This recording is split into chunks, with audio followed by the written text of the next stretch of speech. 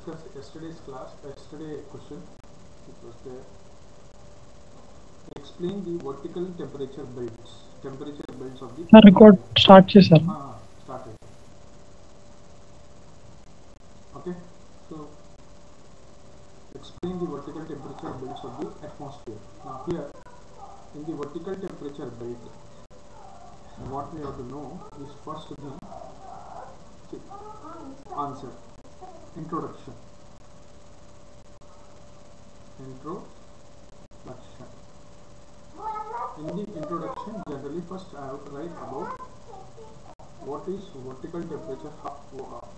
distribution is.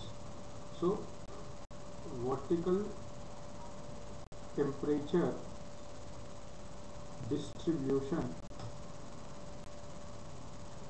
distribution is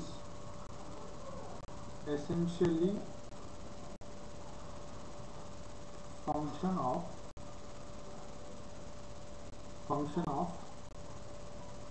of the environment lapse rate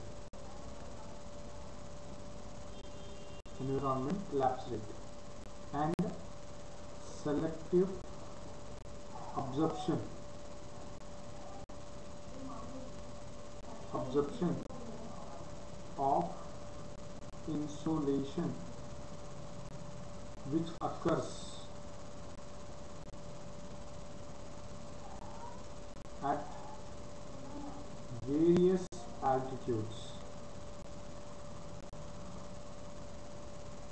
at various altitudes. So i have written my vertical temperature distribution. How it will be on what factors it will be depend so this is my introduction. Now i'll write the main body. In the main body i'll explain about the vertical temperature distribution. I'll not explain about the troposphere stratosphere thermosphere etc he is asking what is a vertical temperature distribution throughout the vertical layer so troposphere stratosphere mesosphere thermosphere exosphere so what is there here so i'll write in general in general there are four major vertical belts of temperature separated by three isothermal isothermal and three isothermal transitional zone transitional zone it is three isothermal transitional zone this is your in general there will be four major vertical belts separated by three isothermal transitional zone this is my this then their occurrence occurrence and cause are below or as follows so what i have to do there is no there is no word see there is a word limit of 150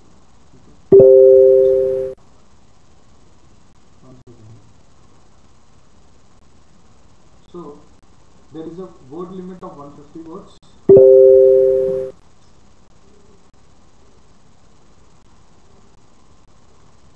There is a word limit of 150 words. So what i will do i will simply draw the diagram and explain each and every thing like this. So simply i will draw the diagram like this. So how it will be this is my tropo okay.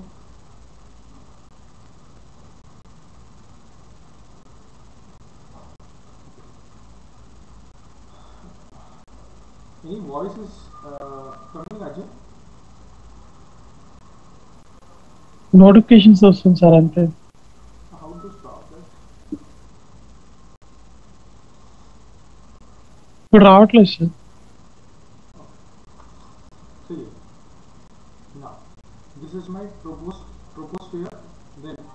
stratosphere, then we have meso and exosphere. So i'll write i'll draw the okay like this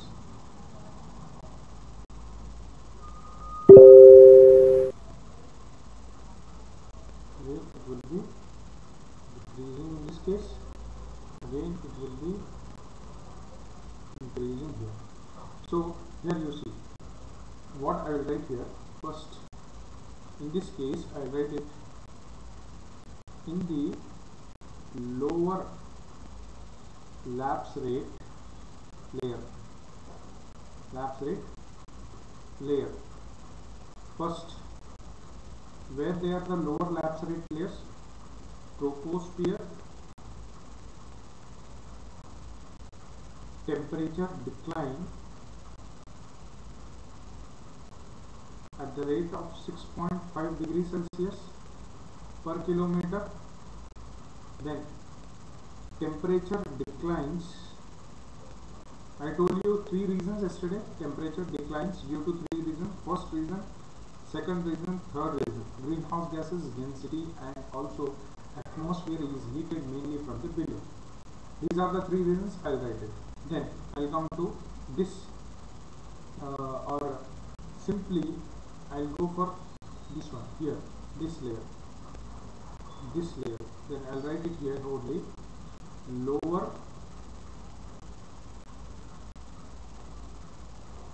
lower inversion lower inversion of temperature layers that is what stratosphere where you will find stratosphere and here we will be finding that the presence of O3 because of the presence of O3 there is a selective absorption. Absorption of UV rays there is a selective absorption of UV rays okay then. This is the then I'll go for this layer.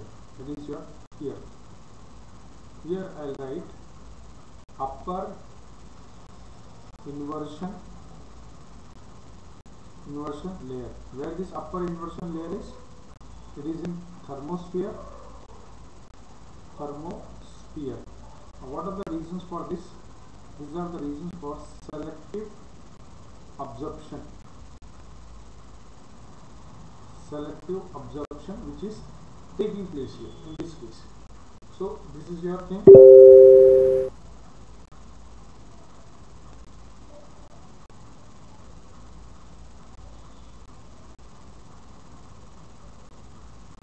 Okay mm, so now you see it is a selective absorption here I'll write this layer again. Okay this layer this is upper lapse rate upper lapse rate layer here what will happen it is in the mesosphere mesosphere right here it is in the mesosphere so again I'll write here that the transitional zone I'll write transitional zones the transitional zones simply you know where they are they are in the tropo tropopause and you know lower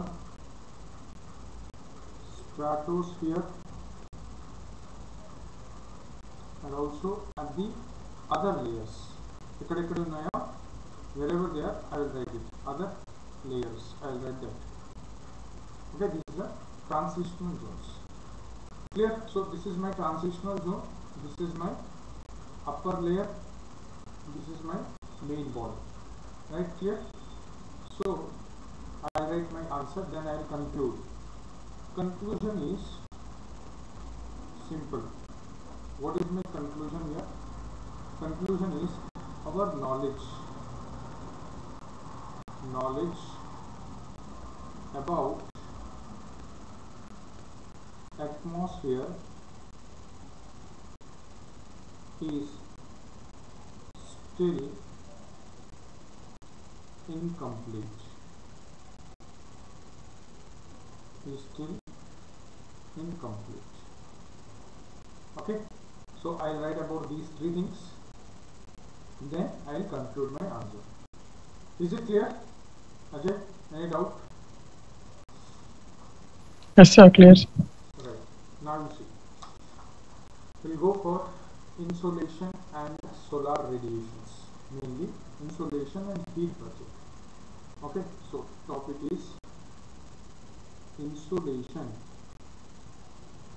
and heat budget. Heat budget.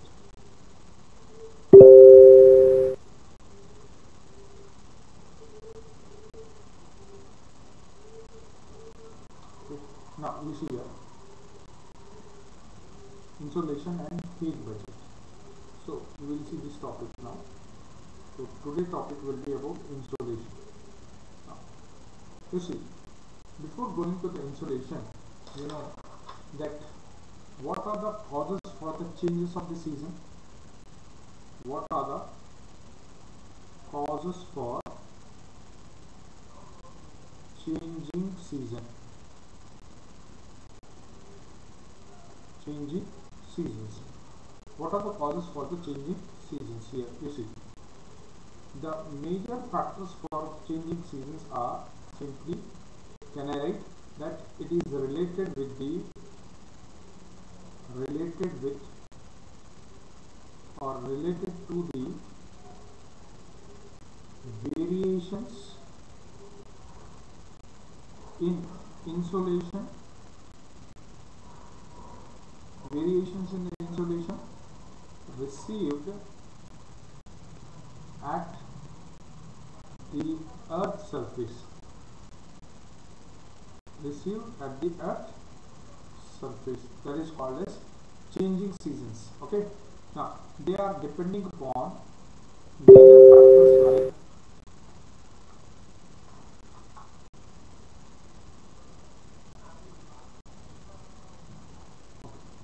they are generally they depend upon the major factors like angle of angle of your incidence.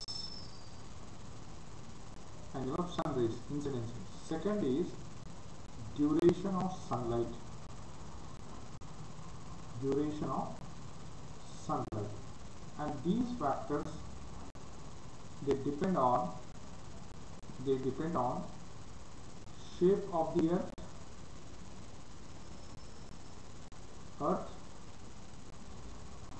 tilt of earth axis of rotation rotation and revolution. And revolution. Like for example you see angle of incident. If I talk about the angle of incident what will happen? Simply suppose uh,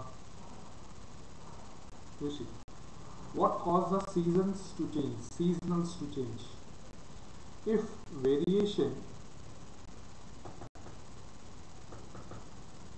if the variation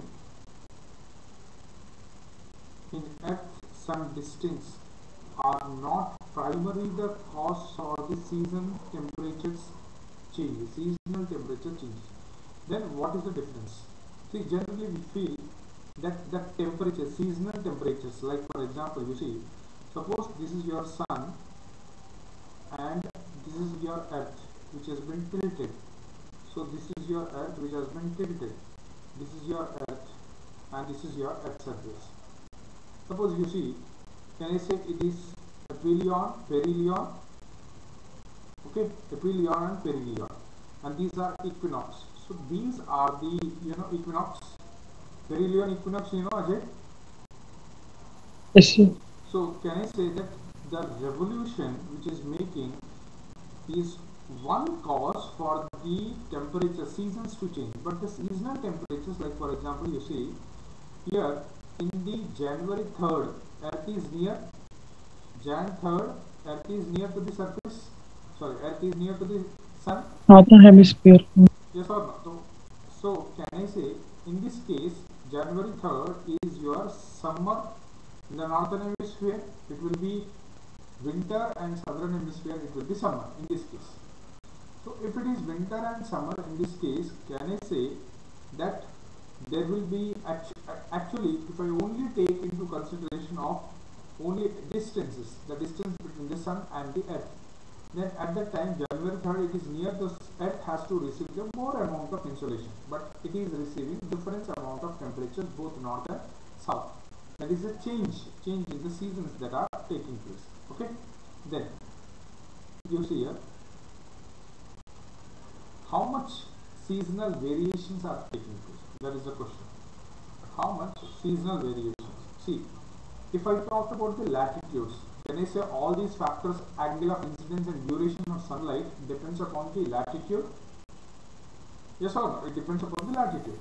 So 0 degree latitude they are receiving 12 hours sunlight on june 21st 12 hours on december 21st and march also 12 hours there is no change 0 degree celsius but 10 degree you see 10 degree latitude 10 at 10 degree latitude 12 hours 35 minutes 11 hours to 25 minutes.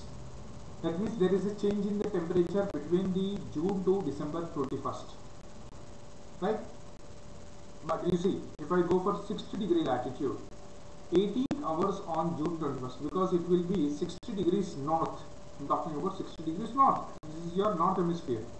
Okay this is the north hemisphere. So 60 degrees north that means it will be cold conditions.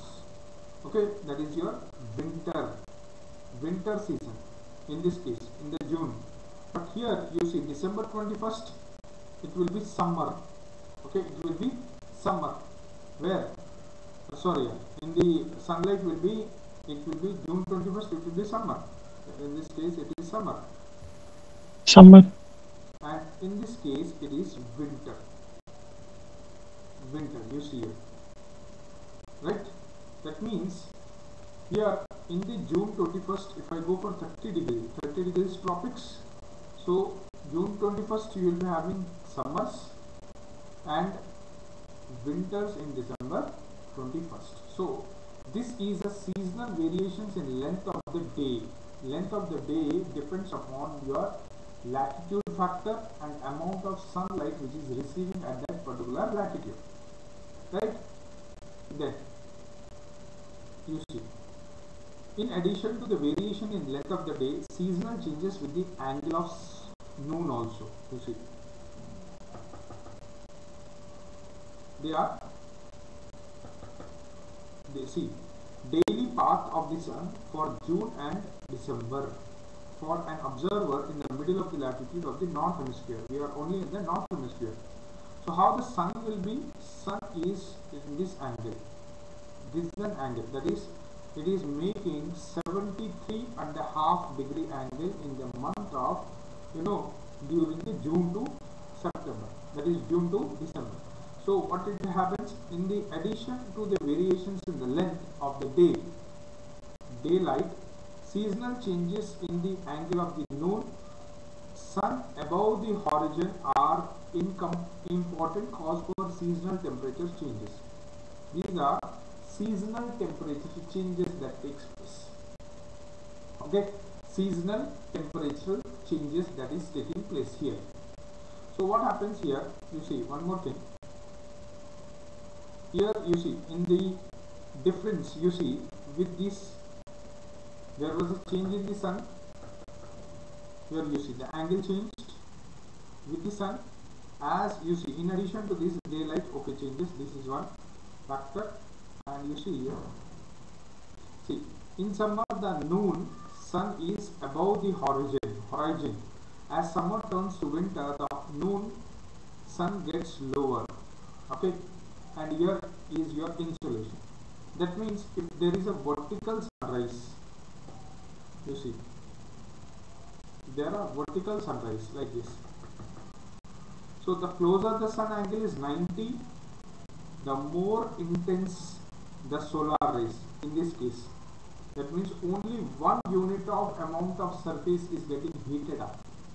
But as the angles are changing the amount of units which are getting is 1.4 here. Here two units. The more oblique the less amount of heat will be transferred. This is your part of your insolation. It is very basic right? Then you see you see distance radiation must travel through the atmosphere. So at 90 degree it has to travel equivalent number of atmosphere that is your 1 okay here. And at 80 degree 1.02 at 70 degree it is 1. point. So the longer the path through the atmosphere the greater the chance that sunlight will be sunlight will be observed. Like for example you see suppose if I am drawing here suppose you see this is my earth surface and this is my rotation right? Now if this is your sun can I say the sun traveling at the equator is lesser but sun traveling at the poles are high. So more the distance they travel the more the absorption of the insolation or radiation is absorbed by the atmosphere. So once the atmosphere is observing it what will happen? It will be moving towards your distance. Is it clear? Right? Yes, sir. okay so that is the first thing now you see here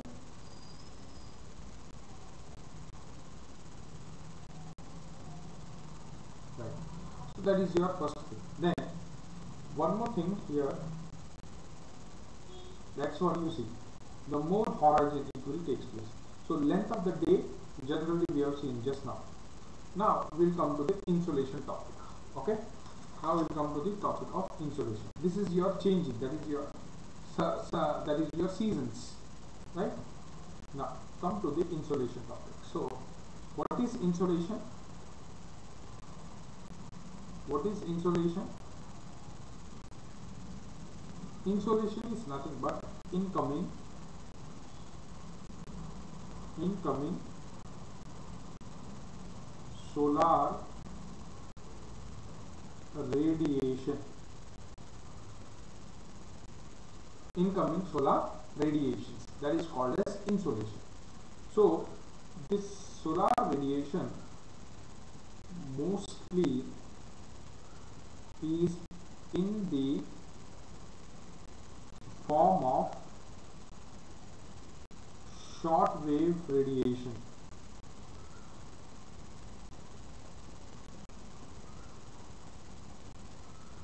Yes tell me is this in the form of short wave radiations here.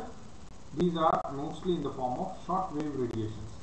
Now these short wave radiations what produce the long wave and short wave radiations? Already i told you. See if you have seen the second class you were there in the second class. So what produces these long waves and short waves? That is temperature of object which is emitting which is emitting radiations. Like for example you see emitting radiation that means see generally the transfer of heat will takes place of heat will takes place in three forms. One radiation. Second conduction and the third is convection you all know this right? You know this point? Radiation convection and con- convection. Yes, sir. right? Okay. So if this is the phenomena the transfer of heat is taking place any object any temperature or any object okay whatever you see the temperature can i say that here in this case one point is temperatures are inversely proportional to the wavelength. That means high temperature short wavelength low temperature high wavelength. Yes or no? High temperature short wavelength low temperatures. This is the phenomena that is taking place in this case. So what what will happen here? Here the simply the absolute see any object any temperature temperature of object which is emitting the radiations. So that should be absolute temperature. Absolute temperature. That means minus 273 kelvins or 0 degrees Celsius. So what they do, if the temperature comes here, they observe and they emit the radiations. Okay, any body which is at 0 degrees Celsius or minus 2, 273 Kelvin, they start emitting the radiations. So, first point is all objects, whatever the temperature, whatever the temperatures they start emitting or they start emit radiant energy. Radiant energy. Number one Second is the hotter the object, hotter the object,